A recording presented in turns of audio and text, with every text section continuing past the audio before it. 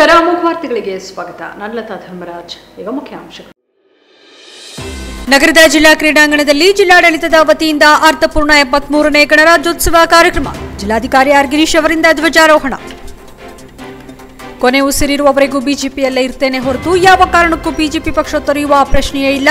ಇದೆಲ್ಲ ಊಹಾಪೋಹ ಹಾಗೂ ಭ್ರಮೆಯ ಮಾತುಗಳಾಗಿವೆ. ಶಾಸಕ ಪ್ರೀತಂ ಜೇಗೌಡ ಹೇಳಿಕೆ.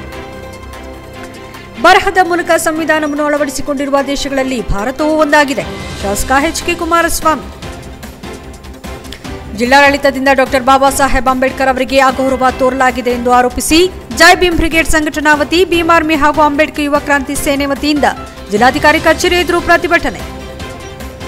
ಮತ್ತು ಪ್ರಜಾಪ್ರಭುತ್ವ ಮತ್ತು ಸಂವಿಧಾನಕ್ಕೆ ಧಕ್ಕೆ ಉಂಟಾಗುತ್ತಿದೆ. ಇದರ ವಿರುದ್ಧ ಯುವಕರು ಮತ್ತು ವಿದ್ಯಾರ್ಥಿಗಳು ಧ್ವನಿಯಾಗಿ ನಮ್ಮ ದೇಶದ ಶ್ರೇಷ್ಠತೆಯನ್ನ ರಕ್ಷಿಸಿ ಶಾಸಕ ಎಟಿ ರಾಮಸ್ವಾಮಿ ಕರೆ. ವಾರ್ತೆಗಳ ವಿವರ.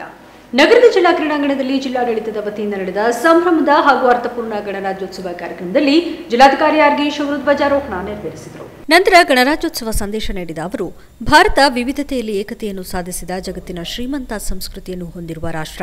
ಸಹಬಾಳ್ವೆ ಉಡುಗೆ ತೊಡುಗೆಯಲ್ಲಿ ಭಿನ್ನತೆ ಇದ್ದರೂ ಭಾವನಾತ್ಮಕವಾಗಿ ನಾವೆಲ್ಲರೂ ಒಂದಾಗಿ ಸಾಗುತ್ತಿದ್ದೇವೆ. ಮುಂದೆಯೂ ಹೀಗೆ ಐಕ್ಯತೆಯೊಂದಿಗೆ ದೇಶದ ಸಮಗ್ರತೆ ಉಳಿಸುತ್ತಾ ಭಾರತವನ್ನು ವಿಶ್ವದ ಶ್ರೇಷ್ಠ, ಬಲಿಷ್ಠ ರಾಷ್ಟ್ರವನ್ನಾಗಿಸಲು ಶ್ರಮಿಸೋಣ.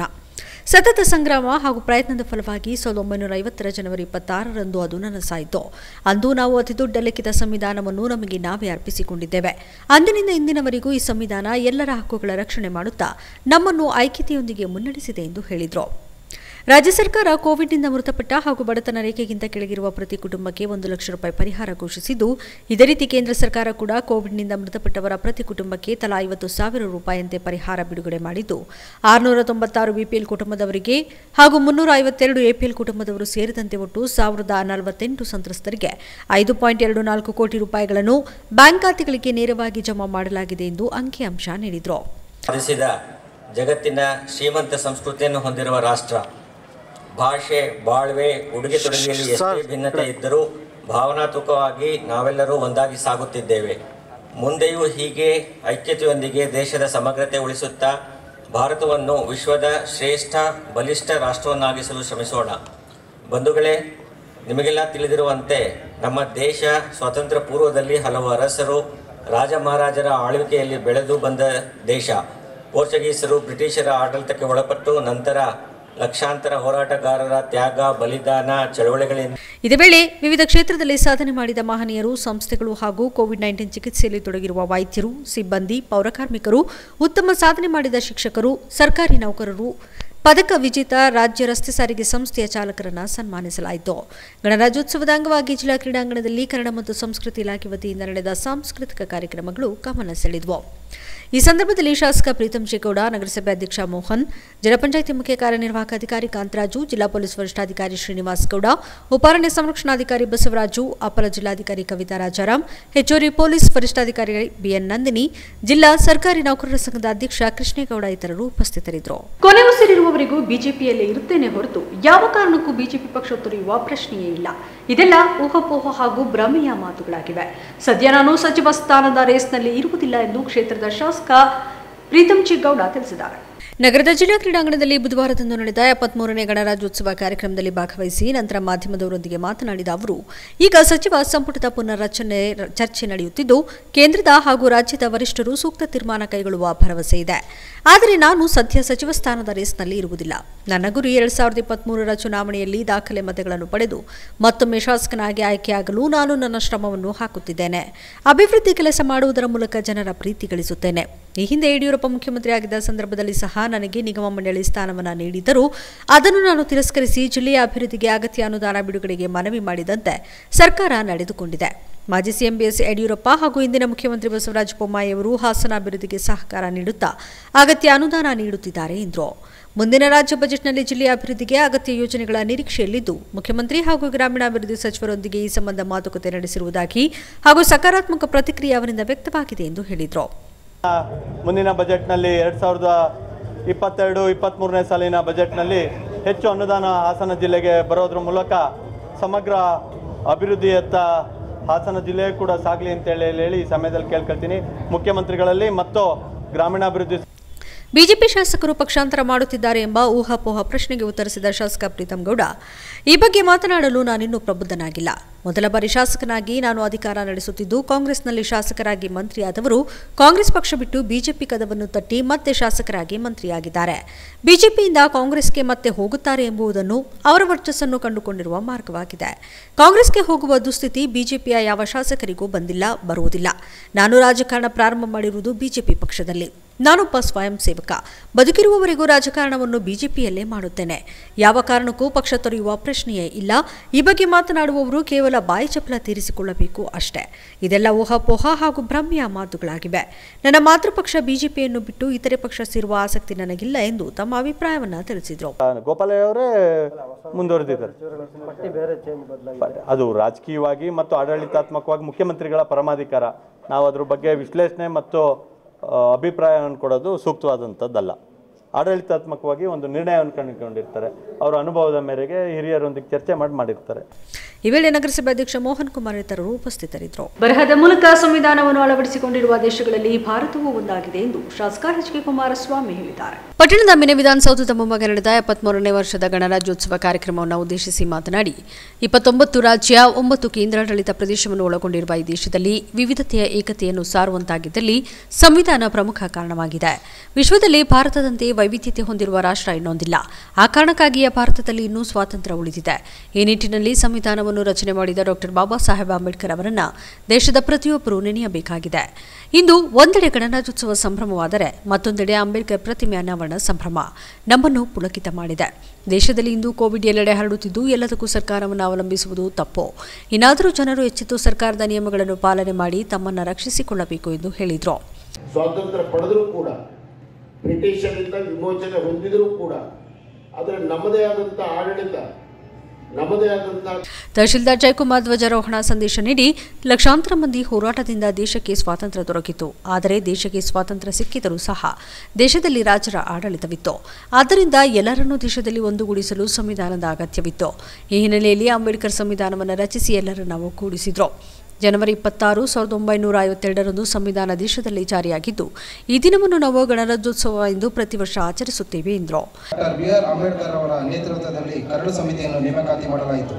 ಈ ಸಮಿತಿಯು ಸಂವಿಧಾನದ ಕರಡು ಪ್ರತಿಯನ್ನು ತಯಾರಿಸಿ ನವೆಂಬರ್ ನಾಲ್ಕು ಸಾವಿರದ ಒಂಬೈನೂರ ನಲವತ್ತೇಳರಂದು ಶಾಸನಸಭೆಯಲ್ಲಿ ಪರಿಶೀಲಿಸಿ ಹಲವಾರು ತಿದ್ದುಪಡಿಗಳ ನಂತರ ಜನವರಿ ಇಪ್ಪತ್ತಾರು ಸಾವಿರದ ಒಂಬೈನೂರ ಐವತ್ತರಂದು ಈ ಸಂದರ್ಭದಲ್ಲಿ ಪುರಸಭಾಧ್ಯಕ್ಷ ಕಾಡಪ್ಪ, ಪುರಸಭಾ ಉಪಾಧ್ಯಕ್ಷೆ ಜ್ಯೋತಿ, ಎಪಿಎಂಸಿ ಅಧ್ಯಕ್ಷ ದೇವರಾಜ್, ಜಿಲ್ಲಾ ಪಂಚಾಯಿತಿ ಮಾಜಿ ಸದಸ್ಯೆ ಚಂಚಲ ಕುಮಾರಸ್ವಾಮಿ ಸೇರಿದಂತೆ ಇತರರು ಹಾಜರಿದ್ದರು.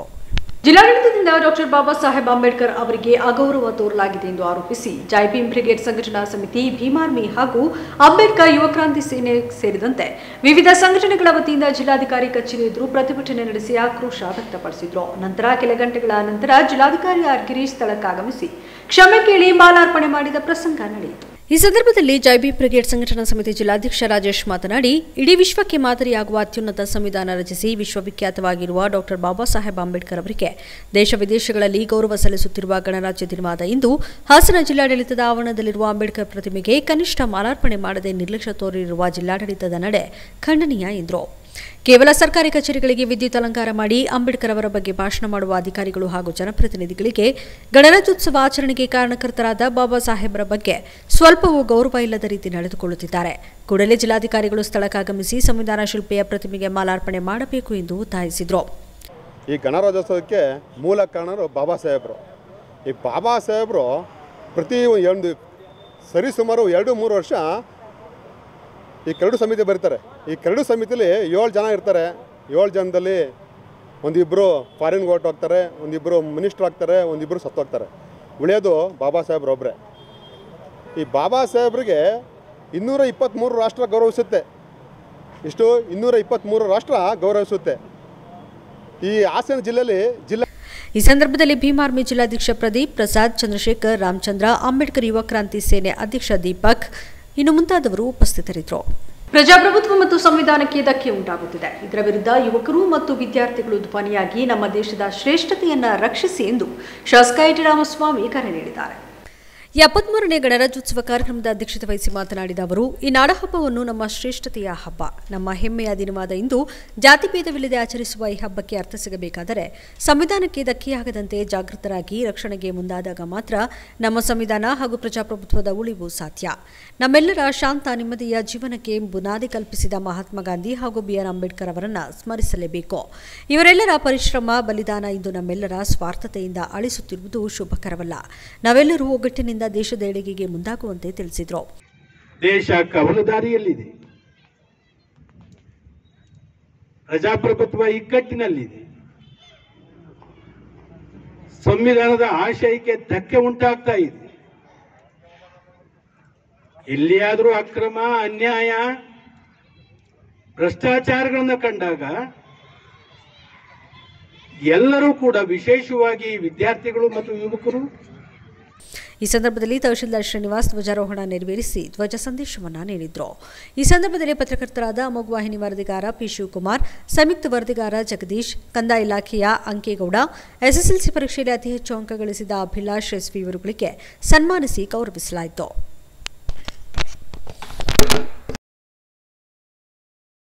ಅರಸಕೆರೆ ತಾಲೂಕು ಕ್ರೀಡಾಂಗಣದಲ್ಲಿ ಎಪ್ಪತ್ಮೂರನೇ ಗಣರಾಜ್ಯೋತ್ಸವವನ್ನು ರಾಷ್ಟ್ರೀಯ ಹಬ್ಬಗಳ ಆಚರಣಾ ಸಮಿತಿ ಹಾಗೂ ತಾಲೂಕು ಆಡಳಿತದ ವತಿಯಿಂದ ವಿಜೃಂಭಣೆಯಿಂದ ಅಲ್ಲದಿದ್ದರೂ ಅರ್ಥಪೂರ್ಣವಾಗಿ ಆಚರಿಸಲಾಯಿತು. ನಗರದ ಜೇನುಕಲ್ ಕ್ರೀಡಾಂಗಣದಲ್ಲಿ ಆಯೋಜಿಸಿದ್ದ ಕಾರ್ಯಕ್ರಮದಲ್ಲಿ ಧ್ವಜಾರೋಹಣ ನೆರವೇರಿಸಿದ ತಹಶೀಲ್ದಾರ್ ಸಂತೋಷ್ ಕುಮಾರ್ ಮಾತನಾಡಿ, ವೈವಿಧ್ಯಮಯ ವಿವಿಧತೆಯ ನಡುವೆಯೂ ಒಕ್ಕೂಟ ವ್ಯವಸ್ಥೆಗೆ ಧಕ್ಕೆ ಬಾರದಂತೆ ಏಕತೆ ಕಾಪಾಡಿಕೊಳ್ಳುವಲ್ಲಿ ನಮ್ಮ ಸಂವಿಧಾನ ಭದ್ರ ಬುನಾದಿಯಾಗಿದೆ. ಅಲ್ಲದೆ ಸರ್ವರಿಗೂ ಸಮಬಾಳು ಹಾಗೂ ಸಮಪಾಲು ದೊರೆಯಬೇಕು ಎಂಬ ಆಶಯದಿಂದ ಕೂಡಿರುವ ಸಂವಿಧಾನದ ಕಾಯ್ದೆ ಕಟ್ಟಲೆಗಳು ದೇಶದ ಪ್ರತಿಯೊಬ್ಬ ಪ್ರಜೆಗೂ ಹಕ್ಕಿನ ಜೊತೆಗೆ ರಕ್ಷಣೆ ನೀಡುತ್ತಿದೆ ಎಂದು ಹೇಳಿದರು. ಯಾಕೆಂದ್ರೆ ಈ ಸಂವಿಧಾನ ಕಾನ್ಸ್ಟಿಟ್ಯೂಷನ್ ಇದೆಯಲ್ಲ, ಇದು ಕೇವಲ ಸಣ್ಣ ಕಾನೂನು ಅಷ್ಟೇ ಅಲ್ಲ ಸೊ ಇದೊಂದು ಮಹತ್ತರವಾಗಿರ್ತಕ್ಕಂಥ ಇಡೀ ದೇಶದ ಎಲ್ಲ ವಾಸಿಗಳನ್ನು ಕೂಡ ಇದನ್ನ ಪಾಲಿಸ್ತಕ್ಕಂತಹ ಗೌರವಿಸ್ತಕ್ಕಂತಹ ಒಂದು ಕಾನೂನಾಗಿರ್ತದೆ. ಸೊ ಈ ಕಾನೂನನ್ನ ರಚನೆಯನ್ನ ಮಾಡುವಂತಹ ಸಂದರ್ಭದಲ್ಲಿ ನಮ್ಮ ಭಾರತೀಯರ ಎಲ್ಲರ ಪರಿಶ್ರಮವನ್ನು ನಾವು ಇದನ್ನ ನೆನ್ಕೋಬೇಕಾಗುತ್ತೆ. ಸೊ ಇದರಲ್ಲಿ ನಮಗೆ ಗೊತ್ತಿದೆ, ನಮ್ಮ ಒಂದು ಭಾರತೀಯ ಸಂವಿಧಾನ ರಚನೆಯನ್ನ ಮಾಡಿದಂತಹ ಸಂದರ್ಭದಲ್ಲಿ ಮಧ್ಯಂತರ ಸರ್ಕಾರ ಸಾವಿರದ ಒಂಬೈನೂರ ನಲವತ್ತಾರರಲ್ಲಿ ಬರ್ತದೆ.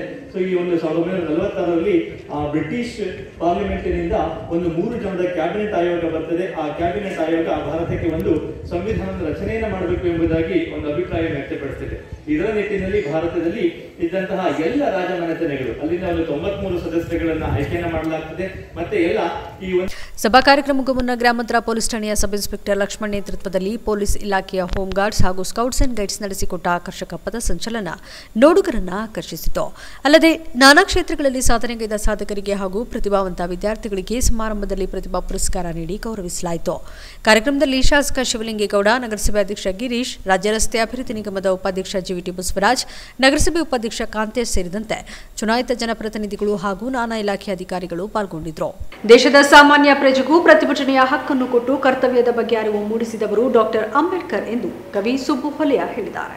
ಪಟ್ಟಣದ ಮಿನಿ ವಿಧಾನಸೌಧದ ಆವರಣದಲ್ಲಿ ತಾಲೂಕು ಆಡಳಿತದ ವತಿಯಿಂದ ನಿರ್ಮಾಣ ಮಾಡಲಾಗಿರುವ ಡಾಕ್ಟರ್ ಬಿಆರ್ ಅಂಬೇಡ್ಕರ್ ಅವರ ಪ್ರತಿಮೆಯನ್ನು ಅನಾವರಣಗೊಳಿಸಿದ ನಂತರ ನಡೆದ ಸಭಾ ಕಾರ್ಯಕ್ರಮದ ಮುಖ್ಯ ಭಾಷಣಕಾರರಾಗಿ ಮಾತನಾಡಿ, ಅಂಬೇಡ್ಕರ್ ಅವರು ಕೊಟ್ಟ ಸಂವಿಧಾನದಿಂದ ದೇಶದ ನಿಜವಾದ ಅವಿಸ್ಮರಣೀಯ ಗಳಿಗೆ ಆರಂಭವಾಯಿತು. ಅಂಬೇಡ್ಕರ್ ಅವರು ಕೊಟ್ಟ ಸಂವಿಧಾನ ದೇಶದ ನೂರ ನಲವತ್ತು ಕೋಟಿ ಜನಕ್ಕೆ ಮರೆಯಲಾರದ ಕೊಡುಗೆಯಾಗಿದೆ. ದಿನನಿತ್ಯ ಅವಮಾನದಿಂದ ಬದುಕುತ್ತಿದ್ದ ದಲಿತರಿಗೆ ಜೀವ ಚೈತನ್ಯ ಕೊಟ್ಟಿದ್ದು ಅಂಬೇಡ್ಕರ್ ಅವರಾಗಿದ್ದು. ಇದೀಗ ಅಂಬೇಡ್ಕರ್ ಅವರ ಪ್ರತಿಮೆಯನ್ನು ನಿರ್ಮಾಣ ಮಾಡಿರುವುದು ಪೂಜಿಸಿ ಆರಾಧಿಸುವುದಕ್ಕಲ್ಲ. ಪ್ರತಿಮೆಯಿಂದ ಪ್ರತಿಯೊಬ್ಬರೂ ಉತ್ತಮ ಜೀವನ ಮಾಡಲು ಸ್ಫೂರ್ತಿ ತೆಗೆದುಕೊಳ್ಳಲಿ ಹಾಗೂ ಸಂವಿಧಾನದ ನಿಯಮ ಪಾಲನೆಗೆ ಪ್ರತಿಯೊರ್ವರು ಬದ್ಧರಾಗಿರಲಿ ಎಂದು ಪ್ರತಿಮೆಯನ್ನು ಪ್ರತಿಷ್ಠಾಪನೆ ಮಾಡಲಾಗಿದೆ. ತಾಲೂಕಿನ ಜನ ಪ್ರತಿಭಾವಂತರಾಗಿದ್ದು ಅಂಬೇಡ್ಕರ್ ಅವರ ವಿಚಾರಗಳನ್ನು ಸರಿಯಾಗಿ ಅನಾವರಣಗೊಂಡರೆ ಮಾತ್ರ ಪ್ರತಿಮೆ ಅನಾವರಣಕ್ಕೆ ಅರ್ಥ ಬರುತ್ತದೆ ಎಂದರು. ಶಾಸಕ ಎಚ್ ಕೆ ಕುಮಾರಸ್ವಾಮಿ ಮಾತನಾಡಿ, ವ್ಯಕ್ತಿಯನ್ನು ನೋಡಿದಾಗ ಅವರ ಆದರ್ಶ ಕಣ್ಣ ಮುಂದೆ ಬರುತ್ತದೆ. ಈ ರೀತಿಯಲ್ಲಿ ಅಂಬೇಡ್ಕರ್ ಅವರ ಪ್ರತಿಮೆಯನ್ನು ನೋಡಿದಾಗ ಅವರ ಆದರ್ಶಗಳು ನಮ್ಮ ಕಣ್ಮುಂದೆ ಬರುತ್ತವೆ. ಅಂಬೇಡ್ಕರ್ ಅವರು ಈ ದೇಶದ ಮೂಲಭೂತ ಸಮಸ್ಯೆಗಳನ್ನು ಬಗೆಹರಿಸಲು ಉತ್ತರ ಹುಡುಕುವ ಕೆಲಸ ಮಾಡಿದ್ರು. ದೀನದಲಿತರ ಸಮಸ್ಯೆಗಳನ್ನು ಬಗೆಹರಿಸಲು ವ್ಯಾಪಕವಾಗಿ ಅಧ್ಯಯನ ಮಾಡಿ, ಎಲ್ಲರಿಗೂ ಎಲ್ಲ ಕಾಲದಲ್ಲೂ ಅನ್ವಯಿಸುವ ಸಂವಿಧಾನವನ್ನು ಅವರು ರಚಿಸಿದ್ರು. ಎಲ್ಲ ಜಾತಿಯಲ್ಲೂ ಶೋಷಿತರಿದ್ದಾರೆ. ಕೇವಲ ಒಂದು ಜಾತಿಯಲ್ಲಿ ಮಾತ್ರವಲ್ಲ, ಎಲ್ಲ ಶೋಷಿತ ಜನಾಂಗಗಳ ನೋವುಗಳಿಗೆ ಅಂಬೇಡ್ಕರ್ ಧ್ವನಿಯಾದರು. ತಾಲೂಕಿನ ಎಲ್ಲ ವರ್ಗಗಳ ಮುಖಂಡರುಗಳ ಹೋರಾಟದಿಂದ ಅಂಬೇಡ್ಕರ್ ಪ್ರತಿಮೆ ನಿರ್ಮಾಣವಾಗಿದ್ದು, ಇದಕ್ಕೆ ನಾನು ಜನತೆಗೆ ಅಭಿನಂದನೆ ಸಲ್ಲಿಸುತ್ತೇನೆ ಎಂದರು. ಹೆಚ್ಚು ಮಾತನಾಡೋ ಅವಶ್ಯಕತೆ ಇಲ್ಲ ಅಂತ ನಾನು ಭಾವಿಸಿದ್ದೇನೆ ಬಹುಶಃ ಅವರ ಬಗ್ಗೆ ತಿಳಿದವರೇ ಇಲ್ಲ. ಕಾರಣವೂ ಕೂಡ ತಮಗೆ ಗೊತ್ತಿದೆ. ನಾವು ಈ ಪ್ರತಿಮೆ ನಿರ್ಮಾಣವನ್ನು ಮಾಡಲಿಕ್ಕೆ ತೆಗೆದುಕೊಂಡಂಥ ತೀರ್ಮಾನ ಮೊನ್ನೆ ನಮ್ಮ ಸುಬ್ಬು ಹೊಲೆಯಾರವರು ಹೇಳಿದಾಗೆ ಪ್ರತಿಮೆಯನ್ನು ನೋಡಿದಾಗ ಭಾವನೆಗಳು ಮೂಡಬೇಕು. ನಾವೊಬ್ಬ ವ್ಯಕ್ತಿಯನ್ನು ನೋಡಿದಾಗ ಭಾವನೆಗಳು ಮೂಡ್ತವೆ. ಆ ವ್ಯಕ್ತಿ ಯಾರು? ಹೇಗೆ? ಅದರ ನಡೆನುಡಿ ಏನು? ಅದರ ಸಾಧನೆ ಏನು? ಯಾವ ಕಾರಣಕ್ಕಾಗಿ ನಾವು ಪ್ರತಿಮೆಯನ್ನು ನಿಲ್ಲಿಸಿದ್ದೇವೆ ಅಂತಕ್ಕಂಥದ್ದು? ಸಭಾ ಕಾರ್ಯಕ್ರಮದ ಮೊದಲು ಬೌದ್ಧ ಧರ್ಮದ ತತ್ವದಡಿ ಅಂಬೇಡ್ಕರ್ ಪ್ರತಿಮೆಗೆ ಪೂಜಾ ವಿಧಿವಿಧಾನಗಳನ್ನು ನೆರವೇರಿಸಿ ಅಂಬೇಡ್ಕರ್ ಪ್ರತಿಮೆ ಅನಾವರಣಗೊಳಿಸಲಾಯಿತು. ಮೆರವಣಿಗೆಯಲ್ಲಿ ಬೃಹತ್ ಗಾತ್ರದ ಹೂವಿನ ಆಹಾರವನ್ನು ತಂದು ಕ್ರೇನ್ ಮೂಲಕ ಅಂಬೇಡ್ಕರ್ ಪ್ರತಿಮೆಗೆ ಮಾಲಾರ್ಪಣೆ ಮಾಡಲಾಯಿತು. ಮಾಜಿ ತಾಲೂಕು ಪಂಚಾಯತಿ ಸದಸ್ಯ ಎಡೆಹಳ್ಳಿ ಮಂಜುನಾಥ್ ಬರೆದ ಸಂವಿಧಾನ ಕುರಿತು ಕಿರುಹೊತ್ತಿಗೆ ಪುಸ್ತಕವನ್ನು ಗಣ್ಯರು ಬಿಡುಗಡೆ ಮಾಡಿದ್ರು. ಈ ಸಂದರ್ಭದಲ್ಲಿ ಮಾಜಿ ಶಾಸಕ H M Vishwanath tahsildar Jayakumar, EO Harish, ಪುರಸಭಾಧ್ಯಕ್ಷ ಕಾಡಪ್ಪ, ಉಪಾಧ್ಯಕ್ಷ ಜ್ಯೋತಿ, ಲೋಕೋಪಯೋಗಿ ಇಲಾಖೆ ಅಭಿಯಂತರ ಅನ್ವರ್ ಬಾಷಾ ಎಪಿಎಂಸಿ ಅಧ್ಯಕ್ಷ ದೇವರಾಜ್, ಕಾಂಗ್ರೆಸ್ ಮುಖಂಡ ಡಿಸಿ ಸಣ್ಣಸ್ವಾಮಿ ಸೇರಿದಂತೆ ಇತರರು ಹಾಜರಿದ್ದರು ಈಗ ಜಾಹೀರಾತು. ಅರಕಲಗೂಡಿನ ಆರ್ ಆರ್ ಗೋಲ್ಡ್ ಪ್ಯಾಲೇಸ್ನ ನಾಲ್ಕನೇ ವಾರ್ಷಿಕೋತ್ಸವದ ಸಂಭ್ರಮದ ಆರ್ ಆರ್ ಉತ್ಸವ. ಆ ಪ್ರಯುಕ್ತ ಚಿನ್ನಾಭರಣಗಳನ್ನು ಖರೀದಿಸಿ ಪ್ರತಿ ಗ್ರಾಂ ಮೇಲೆ ನಾನೂರು ರೂಪಾಯಿಗಳ ಅಮೋಘ ರಿಯಾಯಿತಿ ಪಡೆಯಿರಿ. ಅಲ್ಲದೆ ಪ್ರತಿ ಗ್ರಾಂ ಬೆಳ್ಳಿಯ ಮೇಲೆ ನಾಲ್ಕು ರೂಪಾಯಿಗಳ ರಿಯಾಯಿತಿ. ಈ ಕೊಡುಗೆಗಳು ಇದೇ ಎರಡು ಸಾವಿರದ ಇಪ್ಪತ್ತೆರಡರ ಜನವರಿ ಇಪ್ಪತ್ನಾಲ್ಕು, ಇಪ್ಪತ್ತೈದು, ಇಪ್ಪತ್ತಾರರಂದು ಮೂರು ದಿನಗಳು ಮಾತ್ರ. ಬನ್ನಿ ಈ ಸುವರ್ಣ ಕೊಡುಗೆಯನ್ನು ನಿಮ್ಮದಾಗಿಸಿ. R gold palace KSRTC bus stand ಎದುರು ಅರಕಲಗೂಡು. ಹಳೆ ಒಡವೆಯನ್ನು ಎಕ್ಸ್ಚೇಂಜ್ ಮಾಡಿ ಹೊಸ ಒಡವೆಯನ್ನು ಕೊಲ್ಕೋಬೇಕಾದ್ರೆ ಹ್ಮ್ ಹೀಗೆ ಕುತ್ಕೋಬೇಕು. ಆದ್ರೆ ಹಣ ತಗೊಂಡು ಹೋದ್ರೆ ಹೀಗೆ ಕುತ್ಕೋಬಹುದು. ಕೈಯಲ್ಲಿ ಹಣ ಇದ್ರೆ ನಾವೇ ಬಾಸ್ ಹಣ? ಆಟಿಕಾ ಗೋಲ್ಡ್ ಕಂಪನಿಗೆ ಬನ್ನಿ. Attica gold company. Call triple eight zero three hundred three hundred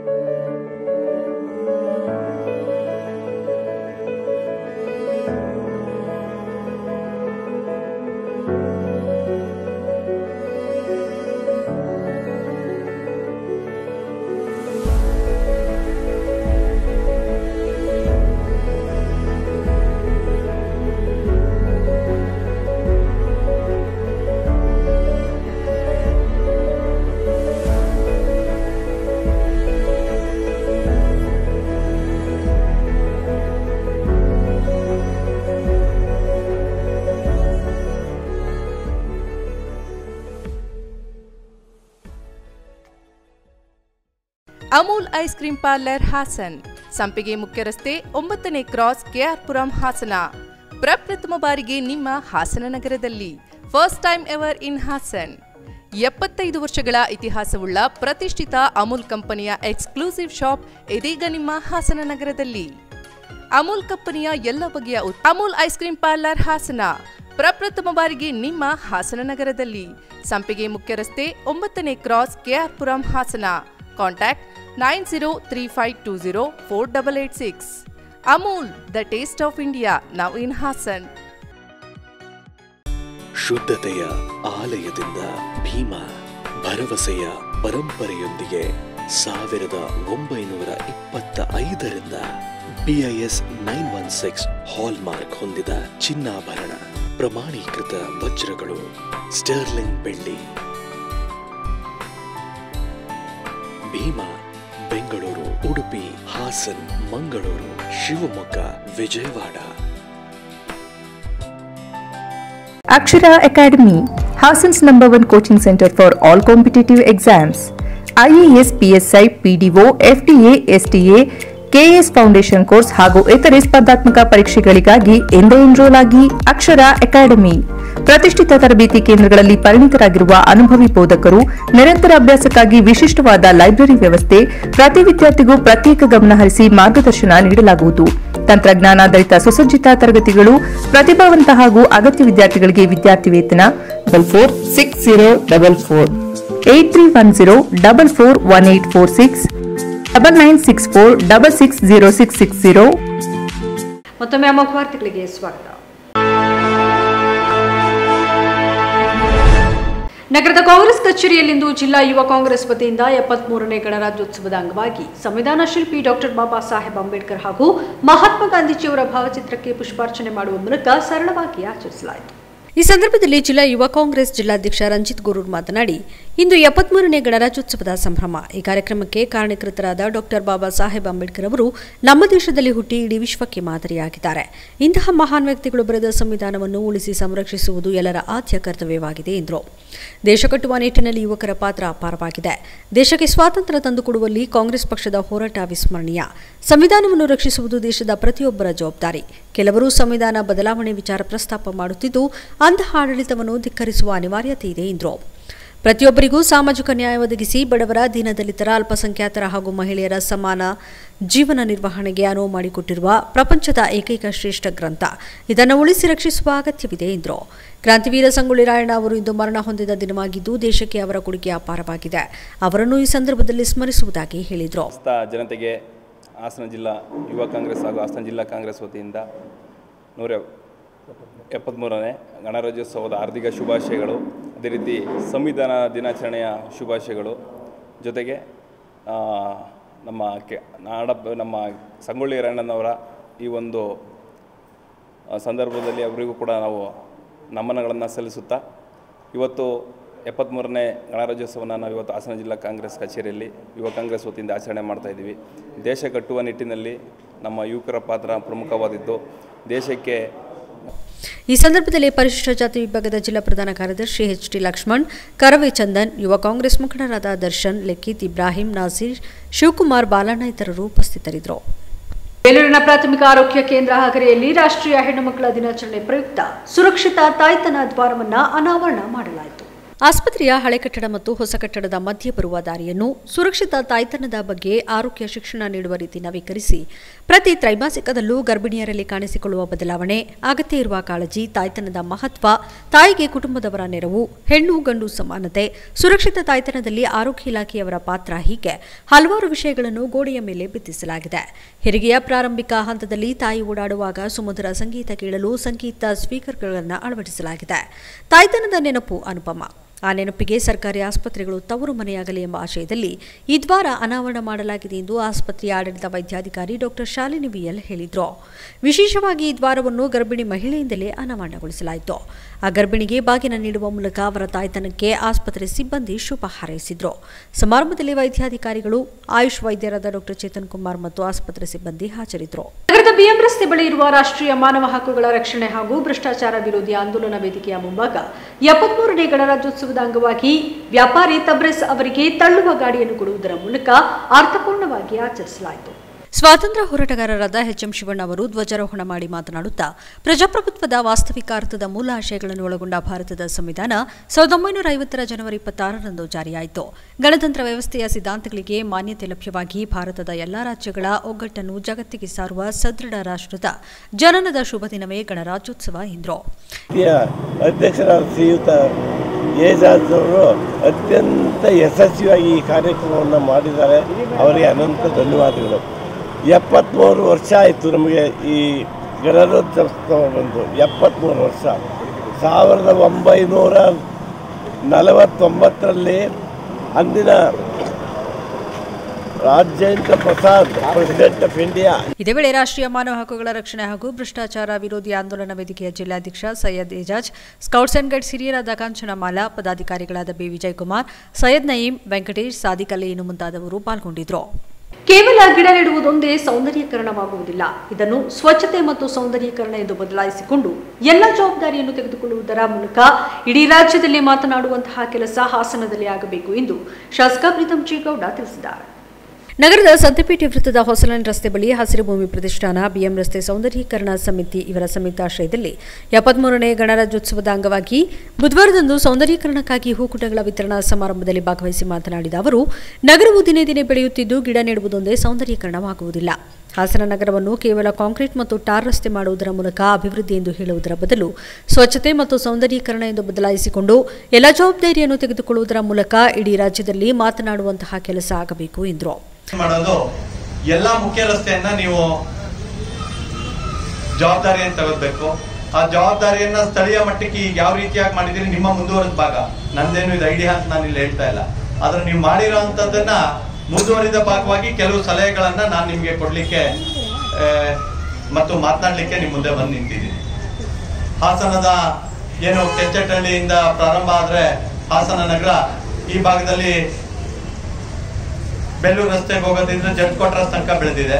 ಮುಂದೆ ದೇವರಪಟ್ಟಣ ತನಕ ಬೆಳೆದಿದೆ. ಕಾರ್ಯಕ್ರಮದಲ್ಲಿ ಹಸಿರು ಭೂಮಿ ಪ್ರತಿಷ್ಠಾನದ ಸಂಸ್ಥಾಪಕರಾದ ಆರ್ ಪಿ ವೆಂಕಟೇಶ್ ಮೂರ್ತಿ ತೋಟಗಾರಿಕಾ ಇಲಾಖೆಯ ಉಪನಿರ್ದೇಶಕ ಎಚ್ ಆರ್ ಯೋಗೇಶ್ ನಗರಸಭೆ ಅಧ್ಯಕ್ಷ ಆರ್ ಮೋಹನ್ ಭಾರತೀಯ ರೆಡ್ ಕ್ರಾಸ್ ಸಂಸ್ಥೆಯ ಜಿಲ್ಲಾ chairman H P Mohan SDM ವೈದ್ಯಕೀಯ ಅಧೀಕ್ಷಕರಾದ ಡಾಕ್ಟರ್ ಮುರಳೀಧರ್ ಪೂಜಾರ್ ಕೈಗಾರಿಕಾ ಮತ್ತು ವಾಣಿಜ್ಯ ಮಂಡಳಿ ಅಧ್ಯಕ್ಷ ಎಂ. ಧನ್ಪಾಲ್ ಒಕ್ಕಲಿಗರ ಸಂಘದ ನಿರ್ದೇಶಕ ಎಸ್ ಎಸ್ ರಘುಗೌಡ ಇತರರು ಉಪಸ್ಥಿತರಿದ್ದರು. ಅಂಬೇಡ್ಕರ್ ಅವರು ಬೃಹತ್ ಜ್ಞಾನದ ಸಂಕೇತವಾಗಿದ್ದಾರೆ ಎಂದು ಬೇಲೂರು ತಹಶೀಲ್ದಾರ್ ಯುಪಿ ಮೋಹನ್ ಕುಮಾರ್ ಹೇಳಿದ್ದಾರೆ. ಪಟ್ಟಣದ ಜೂನಿಯರ್ ಕಾಲೇಜ್ ಆವರಣದಲ್ಲಿ ರಾಷ್ಟ್ರೀಯ ಹಬ್ಬಗಳ ಆಚರಣಾ ಸಮಿತಿಯಿಂದ ಹಮ್ಮಿಕೊಂಡ ಗಣರಾಜ್ಯೋತ್ಸವ ಸಮಾರಂಭದಲ್ಲಿ ಮಾತನಾಡಿದ ಅವರು, ಸಂವಿಧಾನ ಇಪ್ಪತ್ತೆರಡು ಭಾಗಗಳು, ಹನ್ನೆರಡು ಪಟ್ಟಿ, ತೊಂಬತ್ತೇಳು ತಿದ್ದುಪಡಿಗಾಗಿ ನಾನ್ನೂರ ನಲವತ್ತೆಂಟು ಲೇಖನಿಯನ್ನು ಒಳಗೊಂಡಿರುವ ಭಾರತ ಸಂವಿಧಾನ ವಿಶ್ವದ ಅತಿದೊಡ್ಡ ಸಂವಿಧಾನವಾಗಿದೆ ಎಂದ ಅವರು, ನಮಗೆ ಸ್ವಾತಂತ್ರ್ಯ ಅನೇಕ ಮಹನೀಯರ ತ್ಯಾಗ ಬಲಿದಾನಗಳ ಪ್ರತಿಫಲದಿಂದ ಬಂದಿರುವಂಥದ್ದು. ಭಾರತ ಗಣರಾಜ್ಯ ರಾಷ್ಟ್ರವಾದ್ದರಿಂದ ಪ್ರತಿ ಪ್ರಜೆಯೂ ರಾಜನಾಗಿ ಬದುಕುವಂತಹ ವಾತಾವರಣ ಸೃಷ್ಟಿಯಾಗಿದೆ. ಆದ್ದರಿಂದ ನಾವು ಈ ದಿನವನ್ನು ಸಡಗರ ಸಂಭ್ರಮದಿಂದ ಆಚರಿಸುವ ಸಂದರ್ಭದಲ್ಲಿ ಕೋವಿಡ್ ದೇಶವನ್ನು ಇನ್ನೂ ಕಾಡುತ್ತಿರುವ ವೇಳೆ ಸಾರ್ವಜನಿಕ ಸರ್ಕಾರ ನೀಡಿದ ಮುನ್ನೆಚ್ಚರಿಕೆಗಳನ್ನು ಅನುಸರಿಸಿ ಕೋವಿಡ್ ನಿವಾರಣೆ ಮುಂದಾಗಬೇಕಿದೆ ಎಂದರು. ವಾತಾವರಣ ಸೃಷ್ಟಿಯಾಗಿದೆ ಆದ್ದರಿಂದ ನಾವು ಈ ದಿನದ, ಈ ದಿನವನ್ನು ಸಡಗರ ಸಂಭ್ರಮದಿಂದ ಆಚರಿಸುವುದೇ ಚಂದ. ಅಂಬೇಡ್ಕರ್ ಅವರ ಮುಂದಾಳತ್ವ ಮತ್ತು ಮನದಾಳತ್ವ ಹಾಗೂ ಬೃಹತ್ ಜ್ಞಾನದ ಸಂಕೇತವೇ ನಮ್ಮ ಈ ಸಂವಿಧಾನದ ಸಂವಿಧಾನ. ಜಾತಿ ಧರ್ಮ, ಶ್ರೇಣಿತ್ವ ಮೇಲು ಕೀಳು ವರ್ಗ, ಶೋಷಣೆ, ಧೋರಣೆ, ಅನ್ಯಾಯ, ಅನಕ್ಷರತೆ, ಇವುಗಳೆಲ್ಲವುಗಳಿಗೂ ಪೂರ್ಣ ವಿರಾಮ ತೋರಿಸಬೇಕು. ಕ್ರೋಧ, ಮತ್ಸರ, ಲೋಭ, ಶತ್ರುತ್ವ ಇವುಗಳನ್ನು ಸಮಾಜದಿಂದ ಕೊನೆಗೊಳಿಸುವ ಹಾದಿಯಲ್ಲಿ ಪ್ರೀತಿ, ವಿಶ್ವಾಸ, ಭಾತೃತ್ವ, ಸಮಾನತೆ, ಶಾಂತ ಸಮಾಜ ಶಾಸಕ ಕೆಎಸ್ ಲಿಂಗೇಶ್ ಮಾತನಾಡಿ, ಅಂಬೇಡ್ಕರ್ ನೀಡಿದ ಸಂವಿಧಾನದ ಆಶೋತ್ತರಗಳು ಪ್ರಜಾಪ್ರಭುತ್ವದಲ್ಲಿ ಯಥಾವತ್ತಾಗಿ ಜಾರಿಯಾದ ಸಂದರ್ಭದಲ್ಲಿ ಮಾತ್ರ ಸಂವಿಧಾನ ಆಶಯ ಪೂರ್ಣವಾಗಲಿದೆ. ಹಾಗೆಯೇ ಕಾರ್ಯಾಂಗ, ನ್ಯಾಯಾಂಗ ಮತ್ತು ಶಾಸಕಾಂಗಗಳು ತಮ್ಮ ಜವಾಬ್ದಾರಿ ಅರಿತು ಸಂವಿಧಾನದ ಉದ್ದೇಶಗಳ ಈಡೇರಿಕೆಗೆ ಮುಂದಾಗಬೇಕಿದೆ ಎಂದರು. ಅವರೆಲ್ಲರ ಬಲಿದಾನ ನಮಗೆ ದತ್ತವಾಗಿರ್ತಕ್ಕಂಥ ಸ್ವಾತಂತ್ರ್ಯ, ನೆಹರು, ಸುಭಾಷ್, ಗಾಂಧೀಜಿಯವರು ಸರ್ದಾರ್ ವಲ್ಲಭಾಯಿ ಪಟೇಲ್ ಅನೇಕ ಮಾನ್ಯರು ಅದಕ್ಕೆ ಸೇವೆಗೆ ಸಲ್ಲಿಸಿದ್ದಾರೆ, ಮುಖಂಡತ್ವ ವಹಿಸಿದ್ದಾರೆ. ಸಂದರ್ಭದಲ್ಲಿ ಸಮಾಜದಲ್ಲಿ ಸೇವೆ ಸಲ್ಲಿಸಿದ ಗಣ್ಯರನ್ನ ಸನ್ಮಾನಿಸಲಾಯಿತು. ಕಾರ್ಯಕ್ರಮದಲ್ಲಿ ಪುರಸಭೆ ಅಧ್ಯಕ್ಷ ಸಿಎನ್ ದಾನಿ, ಪ್ರಾಧಿಕಾರದ ಅಧ್ಯಕ್ಷ ಎಸ್ ಬಸವರಾಜ್, ಎಪಿಎಂಸಿ ಅಧ್ಯಕ್ಷ C H Mahesh, EO Ravikumar, ವೃತ್ತ ನಿರೀಕ್ಷಕರಾದ ಶ್ರೀಕಾಂತ್ ಮತ್ತು ಯೋಗೇಶ್ ಪುರಸಭಾ ಸದಸ್ಯರಾದ ಜಮಾಲ್ ಜಗದೀಶ್ ಮುಖ್ಯಾಧಿಕಾರಿ ಸುಜಯ್ ಕುಮಾರ್ ಇನ್ನು ಮುಂತಾದವರು ಹಾಜರಿದ್ದರು ಗಣತಂತ್ರ ವ್ಯವಸ್ಥೆಗೆ ಜನರು ಸ್ಪಂದಿಸಿದರೆ ಮಾತ್ರ ದೇಶದ ಪ್ರಗತಿ ಸಾಧ್ಯ ಎಂದು ಶಾಸಕ ಎಚ್ ಕೆ ಕುಮಾರಸ್ವಾಮಿ ಅಭಿಪ್ರಾಯಪಟ್ಟಿದ್ದಾರೆ. ಪಟ್ಟಣದ ಮಿನಿ ವಿಧಾನಸೌಧದ ಆವರಣದಲ್ಲಿ ತಾಲೂಕು ರಾಷ್ಟ್ರೀಯ ಹಬ್ಬಗಳ ಆಚರಣಾ ಸಮಿತಿ ವತಿಯಿಂದ ಏರ್ಪಡಿಸಲಾಗಿದ್ದ ಗಣರಾಜ್ಯೋತ್ಸವ ಸಮಾರಂಭದಲ್ಲಿ ಅವರು ಮಾತನಾಡಿದರು. ದೇಶ ವೈವಿಧ್ಯತೆಯಲ್ಲಿ ಏಕತೆ ಸಾಧಿಸಿದೆ. ದೇಶ ಸಾಕಷ್ಟು ಅಭಿವೃದ್ಧಿ ಹೊಂದಿದರೂ ಸಾಕಷ್ಟು ಮೂಲಭೂತ ಸಮಸ್ಯೆಗಳಿಗೆ ಇನ್ನೂ ಪರಿಹಾರ ಸಿಕ್ಕಿಲ್ಲ. ಬಾಬಾ ಸಾಹೇಬ್ ಅಂಬೇಡ್ಕರ್ ಅವರ ಕನಸು, ನಮ್ಮ ಹಿರಿಯರು ಜಾರಿಗೆ ತಂದಿರುವ ಕಾನೂನುಗಳು ಇನ್ನೂ ಜಾರಿಯಾಗಿಲ್ಲ. ಇವೆಲ್ಲ ಸಾಕಾರವಾದರೆ ನಮ್ಮ ದೇಶ ವಿಶ್ವಮಟ್ಟದ ಪ್ರಗತಿಯಲ್ಲಿ ಮೊದಲನೇ ಸ್ಥಾನದಲ್ಲಿ ನಿಲ್ಲುತ್ತಿವೆ ಎಂದರು. ವಿಜ್ಞಾನದಲ್ಲಿ ಅತ್ಯಂತ ಪ್ರಗತಿ ಹೊಂದಿರುವುದು ಸಣ್ಣ ವಿಷಯವಲ್ಲ. ಆದರೆ ಇನ್ನೂ ಹಳ್ಳಿಗಳಲ್ಲಿ ಬಡತನ, ಅನಕ್ಷರತೆ ಹೋಗಿಲ್ಲ. ಕೊರೋನಾ ಉಳಿಸಲು ಯಾವ ಸರ್ಕಾರದಿಂದಲೂ ಸಾಧ್ಯವಿಲ್ಲ. ಜನರು ಆತ್ಮಾವಲೋಕನ ಮಾಡಿಕೊಂಡು ನಿಯಮಗಳನ್ನು ಪಾಲಿಸುವುದರಿಂದ ಮಾತ್ರ ಸೋಂಕನ್ನು ಹತೋಟಿಗೆ ತರಬಹುದು ಎಂದರು. ಅನುಷ್ಠಾನ ಮಾಡ್ತಾ ಇದ್ದೀವಿ. ಆದರೂ ಆದರೂ ಕೂಡ ಮೂಲಭೂತ ಸಮಸ್ಯೆಗಳು ಹಾಗೇ ಉಳಿದಿವೆ. ಮೂಲಭೂತ ಸಮಸ್ಯೆಗಳು ಹಾಗೇ ಉಳಿದಿವೆ. ಬಾಬಾ ಸಾಹೇಬ್ ಅಂಬೇಡ್ಕರ್ ಅವರು ಕಂಡಂಥ ಕನಸು ಇನ್ನೂ ಪೂರ್ತಿ ಆಗಿಲ್ಲ. ನಮ್ಮ ಹಿರಿಯರು ಕಟ್ಟಿದಂಥ ಕಾನೂನು ಇನ್ನೂ ಕೂಡ ಜಾರಿ ಆಗಿಲ್ಲ ಅದೆಲ್ಲ ಆದರೆ ಬಹುಶಃ ನಾವು ವಿಶ್ವ ಮಟ್ಟದಲ್ಲಿ ಪ್ರಗತಿಯಲ್ಲಿ ಮೊದಲನೇ ಸ್ಥಾನದಲ್ಲಿ ಇರ್ತೀವಿ. ಮೊದಲನೇ ಸ್ಥಾನದಲ್ಲಿ ಇರ್ತೇವೆ ತಹಶೀಲ್ದಾರ್ ಶ್ರೀನಿವಾಸ್ ಧ್ವಜಾರೋಹಣ ನೆರವೇರಿಸಿ ಸಂದೇಶ ನೀಡಿದರು. ಸಮಾರಂಭದಲ್ಲಿ ವಿವಿಧ ಕ್ಷೇತ್ರದಲ್ಲಿ ಸಾಧನೆಗೈದವರನ್ನು ಸನ್ಮಾನಿಸಲಾಯಿತು. ಸಮಾರಂಭದಲ್ಲಿ ಜಿಲ್ಲಾ ಪಂಚಾಯಿತಿ ಸದಸ್ಯ ಚಂಚಲ ಕುಮಾರಸ್ವಾಮಿ ಪಟ್ಟಣ ಪಂಚಾಯಿತಿ ಅಧ್ಯಕ್ಷ ವೇದ ಸುರೇಶ್, ಎಬಿಎಂಸಿ ನಿರ್ದೇಶಕ ಕೆಎಸ್ ಮಂಜೇಗೌಡ, ತಾಲೂಕು ಪಂಚಾಯಿತಿ ಕಾರ್ಯನಿರ್ವಹಣಾಧಿಕಾರಿ ನಾರಾಯಣಸ್ವಾಮಿ, ಪೊಲೀಸ್ ಇನ್ಸ್ಪೆಕ್ಟರ್ ಹೇಮಂತ್ ಕುಮಾರ್, ಪಟ್ಟಣ ಪಂಚಾಯಿತಿ ಮುಖ್ಯಾಧಿಕಾರಿ ನಟರಾಜ್ ಇತರರು ಭಾಗವಹಿಸಿದರು. ಜಿಲ್ಲಾ ಪತ್ರಕರ್ತರ ಸಂಘದ ಆವರಣದಲ್ಲಿ ಎಪ್ಪತ್ಮೂರನೇ ಗಣರಾಜ್ಯೋತ್ಸವ ಹಿನ್ನೆಲೆಯಲ್ಲಿ ಜಿಲ್ಲಾ ಪೊಲೀಸ್ ವರಿಷ್ಠಾಧಿಕಾರಿ ಆರ್ ಶ್ರೀನಿವಾಸ್ ಗೌಡ ರಾಷ್ಟ್ರಧ್ವಜಾರೋಹಣ ನೆರವೇರಿಸಿದರು. ನಂತರ ಮಾತನಾಡಿದ ಅವರು, ನಾವು ಇಂದು ಎಪ್ಪತ್ಮೂರನೇ ಗಣರಾಜ್ಯೋತ್ಸವವನ್ನು ಆಚರಿಸುತ್ತಿರುವ ಸುಸಂದರ್ಭದಲ್ಲಿ ನಾವೆಲ್ಲರೂ ಸಂವಿಧಾನದ ಆಶಯ ಪಾಲಿಸೋಣ, ಸಂವಿಧಾನವನ್ನು ಪ್ರೀತಿಸೋಣ. ನಾವು ಅದನ್ನು ಗೌರವಿಸಿದಷ್ಟು ಅದು ನಮ್ಮನ್ನು ಪೋಷಿಸುತ್ತದೆ ಎಂದು ಹೇಳಿದರು. ಏನು? ಪತ್ರಕರ್ತರ ಸಂಘದ ಆವರಣದಲ್ಲಿ ಒಂದು ಗಣರಾಜ್ಯೋತ್ಸವದ ಸಂಭ್ರಮಾಚರಣೆ ಇದೆ. ಅಲ್ಲಿ ನನ್ನನ್ನು ಪ್ರತಿ ವರ್ಷದಂತೆ ಈ ವರ್ಷವೂ ನನ್ನನ್ನು ಆಹ್ವಾನಿಸೋಕೆ ಅವರಿಗೆಲ್ಲ ಸಂತೋಷನ ಪಟ್ಟಿದ್ದೀನಿ.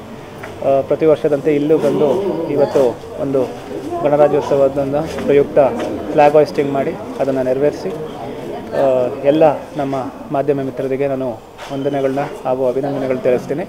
ಇಷ್ಟು ದಿವಸ ನಮಗೆ ತುಂಬ ಚೆನ್ನಾಗಿ ಸಹಕಾರ ಕೊಟ್ಟಿದ್ದಾರೆ. ಇನ್ನು ಮುಂದೆನೂ ಹೀಗೆ ಕೊಡಲಿ ಅಂತ ಕೇಳುತ್ತಾ ಪತ್ರಕರ್ತರಿಗೆಲ್ಲರಿಗೂ ಮತ್ತೊಮ್ಮೆ ಗಣರಾಜ್ಯೋತ್ಸವದ ಶುಭಾಶಯಗಳು ಹೇಳ್ತೀನಿ. ಥ್ಯಾಂಕ್ ಯು ಇದೇ ವೇಳೆ ರಾಷ್ಟ್ರಪಿತ ಮಹಾತ್ಮ ಗಾಂಧಿ ಭಾವಚಿತ್ರಕ್ಕೆ ಪುಷ್ಪಾರ್ಚನೆ ಮಾಡಲಾಯಿತು. ಈ ಸಂದರ್ಭದಲ್ಲಿ ಜಿಲ್ಲಾ ಪತ್ರಕರ್ತರ ಸಂಘದ ಅಧ್ಯಕ್ಷ ಎಸ್ ಆರ್ ಪ್ರಸನ್ನಕುಮಾರ್ ರಾಜ್ಯ ಕಾರ್ಯಕಾರಿ ಸಮಿತಿಯ ರವಿ ನಾಕಲ್ಗೂಡು, ರಾಷ್ಟ್ರೀಯ ಮಂಡಳಿ ಸದಸ್ಯ ಅತಿಕು ರೆಹಮಾನ್, ಉಪಾಧ್ಯಕ್ಷ ಹಿಂದೂ ಪ್ರಕಾಶ್, ಪ್ರಧಾನ ಕಾರ್ಯದರ್ಶಿ ಕೆಜಿ ಸುರೇಶ್, ನಗರ ಕಾರ್ಯದರ್ಶಿ C B Santosh, Venukumar, Balugopal, Taufiq, Anantharaju, Harish, Shashidhar, scouts and guides ಘಟಕದ ವಿಎಸ್ ರಾಣಿ, ಜಾಗಲ್ ಪ್ರಸನ್ನ, ಕಾರ್ಯಕಾರಿ ಸಮಿತಿ ಸದಸ್ಯರು, ಸಂಪಾದಕರು, ವರದಿಗಾರರು ಉಪಸ್ಥಿತರಿದ್ದರು. ಬಾಲಕಿಯರ ಸರ್ಕಾರಿ ಪದವಿ ಪೂರ್ವ ಕಾಲೇಜು, ಪ್ರೌಢಶಾಲಾ ವಿಭಾಗ ಬೇಲೂರಿನಲ್ಲಿ ರಾಷ್ಟ್ರೀಯ ಮತದಾರರ ದಿನದ ಅಂಗವಾಗಿ ಪ್ರೌಢಶಾಲಾ ವಿದ್ಯಾರ್ಥಿನಿಯರು ಪ್ರತಿಜ್ಞಾ ವಿಧಿಯನ್ನ ಸ್ವೀಕರಿಸಿದರು ಶಾಲೆಯ ಮುಖ್ಯ ಶಿಕ್ಷಕರಾದ ಚಂದ್ರಶೇಖರ್ ಅವರು ಮಾತನಾಡಿ, ಪ್ರಜಾಪ್ರಭುತ್ವದ ಬುನಾದಿಯಾದ ಮತದಾನದ ಹಕ್ಕನ್ನು ಮುಂದಿನ ದಿನಗಳಲ್ಲಿ ತಪ್ಪದೇ ಚಲಾಯಿಸಬೇಕು ಮತ್ತು ಯಾವುದೇ ಆಮಿಷಕ್ಕೆ ಒಳಗಾಗದೆ ತಮ್ಮ ಹಕ್ಕನ್ನು ಬಳಸಿಕೊಳ್ಳಬೇಕು ಎಂದು ತಿಳಿಸಿದರು. ಮತದಾನದ ಬಗ್ಗೆ ಜಾಗೃತಿ ಹಾಗೂ ಓರ್ವ ಮತದಾರನ ಹಕ್ಕು ಮತ್ತು ಕರ್ತವ್ಯ ಕುರಿತು ಸಮಾಜ ವಿಜ್ಞಾನ ಶಿಕ್ಷಕಿ ಶ್ರೀಮತಿ ಚಂದ್ರಕಲಾ ಅವರು ಸವಿಸ್ತಾರವಾಗಿ ತಿಳಿಸಿದರು. ಮತದಾನದ ಜಾಗೃತಿಗಾಗಿ ಕಿರುನಾಟಕ ಆತ್ಮಸಾಕ್ಷಿಯನ್ನು ಮಕ್ಕಳು ಅಭಿನಯಿಸಿದರು. ಶಿಕ್ಷಕ ವರ್ಗದವರಾದ ರವೀಂದ್ರ ಕುಮಾರ್, ಸುಕನ್ಯಾ, ಶ್ರೀವಿದ್ಯಾ ಆಯಿಷಾ ಸಿದ್ದಿಕಾ ಸುಮಾ ಬೋಧಕೇತರ ಸಿಬ್ಬಂದಿ ವರ್ಗದವರಾದ ಶೋಭಾಲತಾ ಇನ್ನು ಮುಂದಾದವರು ಭಾಗವಹಿಸಿದರು. ಅರಸಗಿರಿ ತಾಲೂಕು ಕ್ರೀಡಾಂಗಣದಲ್ಲಿ ಗಣರಾಜ್ಯೋತ್ಸವ ಕಾರ್ಯಕ್ರಮವನ್ನು ಅರ್ಥಪೂರ್ಣವಾಗಿ ಆಚರಿಸಲಾಗಿದ್ದು ಆದರೆ ಕಾರ್ಯಕ್ರಮಕ್ಕೂ ಮುನ್ನ ಶಾಸಕರ ಹಿಂಬಾಲಕರು ನಡೆಸಿದ ಉದ್ದಟತನದ ಕಾರ್ಯಕ್ಕೆ ತಾಲೂಕು ಆಡಳಿತ ತಲೆ ತಗ್ಗಿಸುವಂತಾಗಿದೆ. ಹೌದು. ಗಣರಾಜ್ಯೋತ್ಸವ ಕಾರ್ಯಕ್ರಮದ ಪರೇಡ್ನಲ್ಲಿ ಭಾಗವಹಿಸಲು ಸಮವಸ್ತ್ರಧಾರಿಗಳಾಗಿ ಬಂದಿದ್ದ ಶಾಲಾ ಮಕ್ಕಳನ್ನ ನಿಯಮ ಉಲ್ಲಂಘನೆ ಮಾಡಿ ಯಾವುದೇ ಪ್ರೋಟೋಕಾಲ್ ಇಲ್ಲದೆ ಹಾಗೂ ಪ್ರತಿ ಬಾರಿ ಆಚರಣೆ ಇಲ್ಲದ ಪದ್ಧತಿಯನ್ನು ತಹಶೀಲ್ದಾರ್ ಹಾಗೂ ಬಿಇಒ ಮತ್ತಿತರ ಅಧಿಕಾರಿಗಳ ಗಮನಕ್ಕೆ ತರದೆ ಶಾಸಕರ ಮುಂದೆ ಶಾಬಾಸ್ಗಿರಿ ತೆಗೆದುಕೊಳ್ಳಲು ಪುಟಾಣಿ ಮಕ್ಕಳನ್ನು ಬಳಕೆ ಮಾಡಿಕೊಂಡಿದ್ದು, ಕ್ರೀಡಾಂಗಣದ ಗೇಟ್ನಲ್ಲಿ ಶಾಸಕ ಶಿವಲಿಂಗೇಗೌಡರನ್ನ ಸ್ವಾಗತಿಸಿ ವೇದಿಕೆವರೆಗೂ ಬ್ಯಾಂಡ್ ಸೆಟ್ನೊಂದಿಗೆ ಮೆರವಣಿಗೆ ನಡೆಸಿದ್ದಾರೆ. ಪೆರೇಡ್ಗೆ ಆಗಮಿಸಿದ ಮಕ್ಕಳನ್ನ ಈ ರೀತಿ ದುರ್ಬಳಕೆ ಮಾಡಿರುವುದು ಎಷ್ಟರ ಮಟ್ಟಿಗೆ ಸರಿ ಎಂಬ ಚರ್ಚೆ ಸಾರ್ವಜನಿಕ ವಲಯದಲ್ಲಿ ನಡೆಯುತ್ತಿದ್ದು, ಮೆರವಣಿಗೆಗೆ ಸ್ವತಃ ಶಾಸಕರು ಮಾಸ್ಕ್ ಧರಿಸದೆ ಮಕ್ಕಳ ಗುಂಪಿನಲ್ಲಿ ಸಾಗಿದ್ದು, ಎಲ್ಲರ ಕೆಂಗಣಿಗೆ ಗುರಿಯಾದರೆ.